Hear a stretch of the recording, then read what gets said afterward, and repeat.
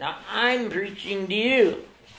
The words of God in your life, though you know them, if you don't keep them in your life and keep them regenerated in your life, will gradually creep out of your life.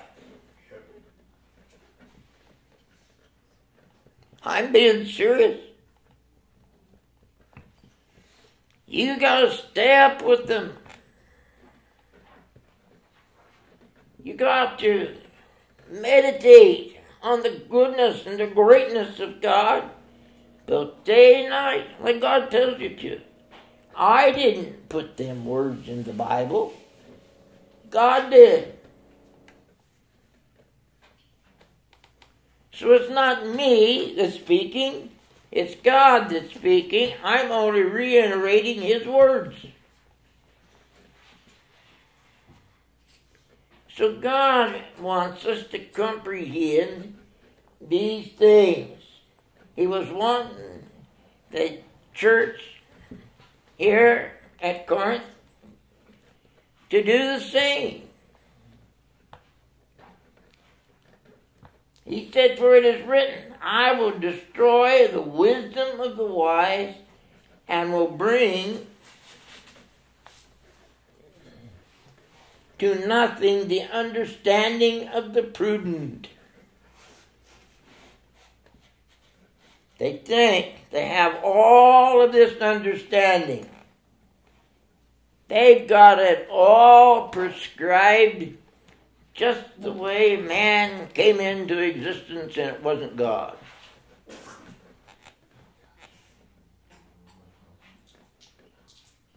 All forms of things.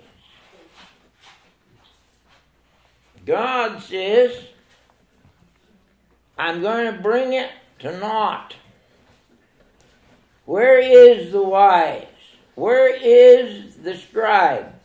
Where is the disputer of these of the world? Hath to get where is the scribe? Where is the disputer of this world?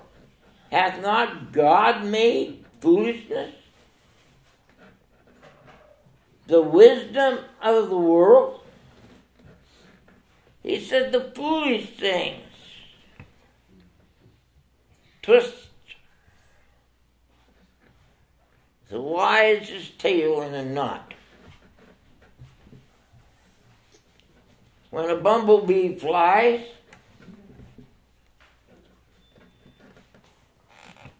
the wise have no reason that he can fly. Because technically, under their category, he's got too big a fuselage for his wing power.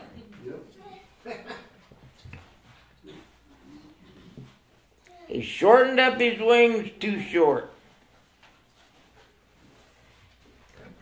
Can't get off the ground, but he does. For ages, they struggled with how in the world a hummingbird could rotate his wings enough to fly backwards.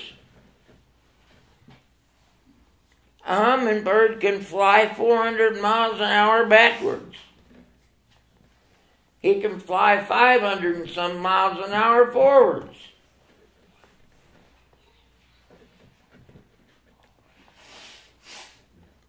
But the point is, they baffle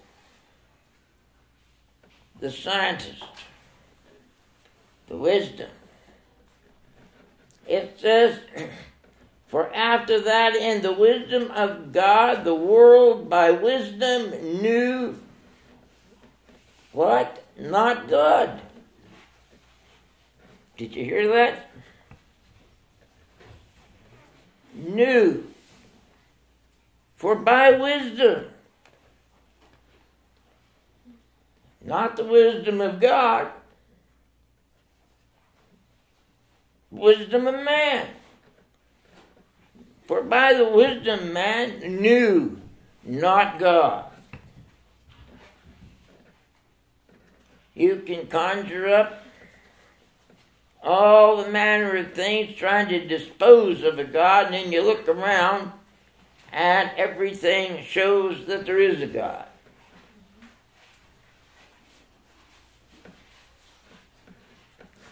God is the creator and maker. For after in the wisdom of God the world by wisdom knew not God. It pleased God by the foolishness of preaching to save them that believe. The foolishness of what I'm doing today, of preaching the soundness of the Word of God, will bring you what? Everlasting life. But if you don't follow it, it won't work that way. He was trying to get the world to understand that. To comprehend. God's still working with us, trying to get us to comprehend the greatness of God, the love of God, and what He wants us to follow, and it's Him. For the Jews required a sign, and the Greeks seeked after wisdom. But we preach Christ crucified unto the Jew a stumbling block, and to the Greek foolishness. What a foolish manner is there to bring you to a God reality. But it is a God reality. Jesus came and became mortal man and God at the same time. So that God could understand man. Did you know God couldn't understand you and your foolish antics? God couldn't understand man in his stupidity until Christ came. Then, through Christ and all the things Christ overcame, God actually become able to know.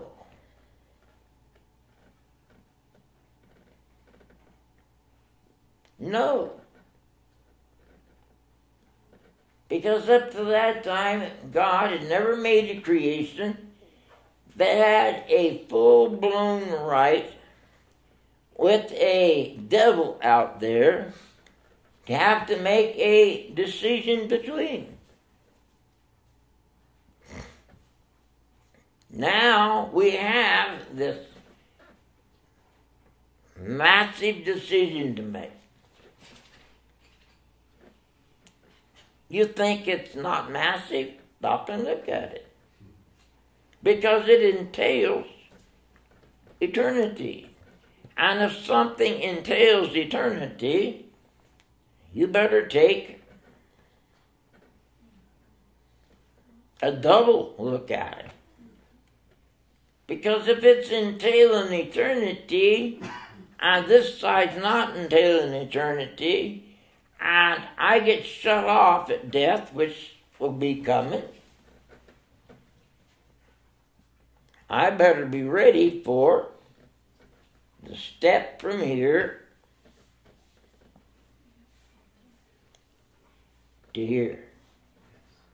And what I'm preaching to you is a step from here into eternal life, which we already are living. But right now, even the unsaved are still living in eternal life with opportunity. But actually, when you step across this line,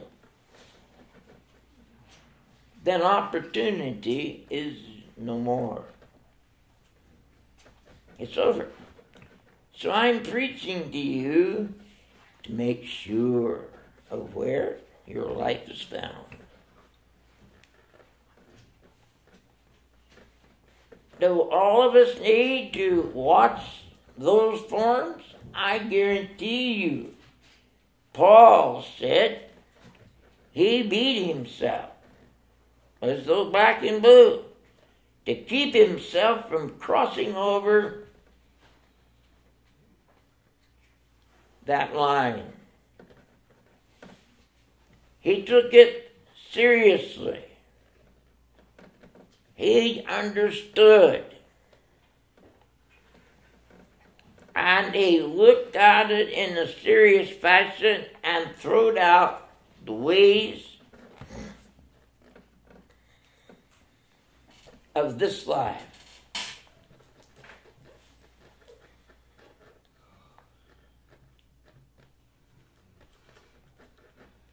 Because it said the preaching was foolishness. And it saved them that believe.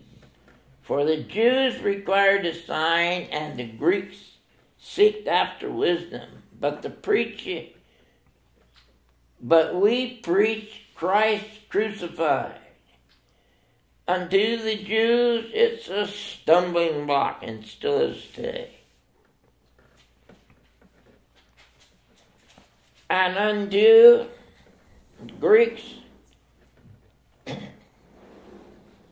it was foolishness. But unto them which are called, both Jews and Greeks, Christ, the power of God and the wisdom of God because the foolishness of God is wiser than men, and the weaknesses of God is stronger than men.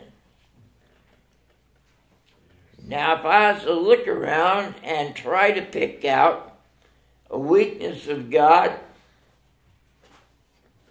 you'll have a lot of looking to do. You have a lot of looking to do.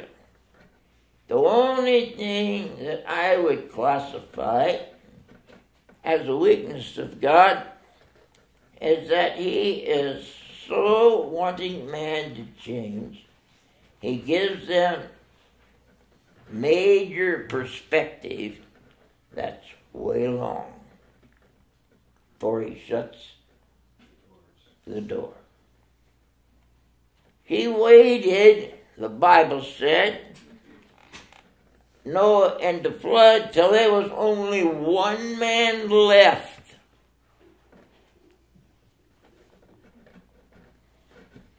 On the earth that remembered God and knew God.